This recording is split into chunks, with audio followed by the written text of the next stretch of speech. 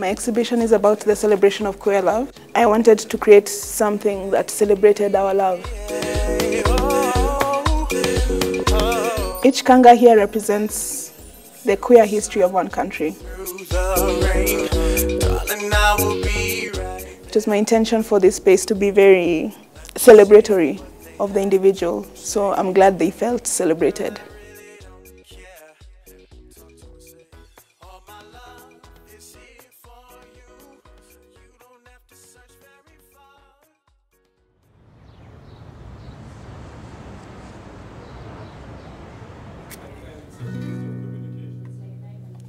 My name is Kawira Mwirichia. I'm a visual artist, and um, my exhibition is about the celebration of queer love, and that's a very, it's a theme, a purpose that's very dear to my heart.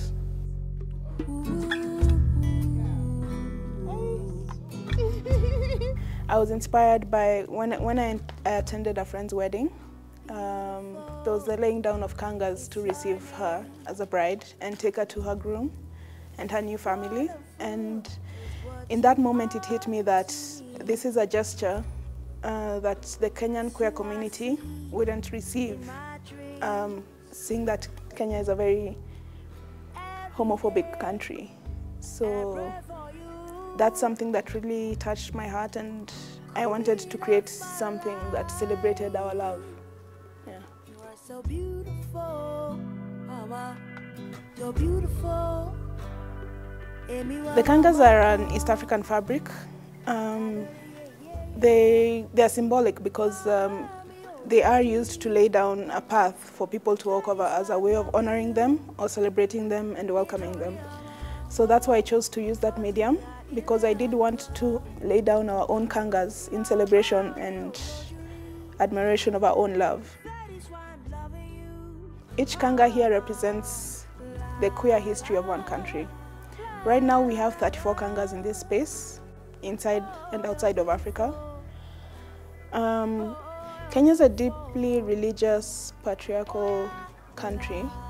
So uh, queer, queer people and the idea of queerness isn't very welcome because it's uh, considered a sin uh, and immoral. So and it's also illegal. Uh, homosexuality is illegal in Kenya, and that's mostly because of the whole religious and patriarchal um, stance.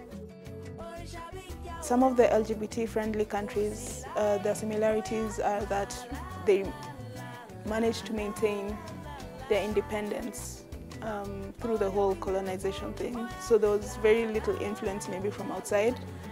Um, and um, for also the the unfriendly countries, there was the similar theme of colonization or religion being introduced into that space.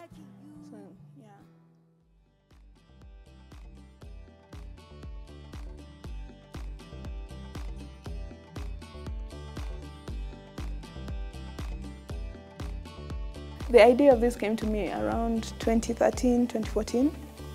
I've been thinking about it, planning about it, um, figuring it out in my head since then. Talking about a revolution sounds like While they're standing in the welfare lines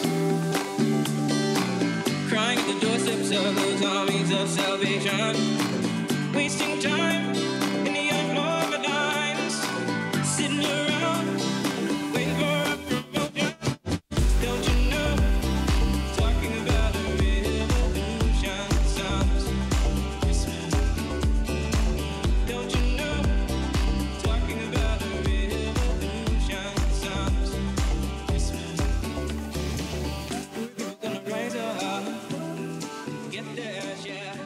Um, the opening was very, it was amazing. Um, a lot of people showed up, um, way beyond my expectations.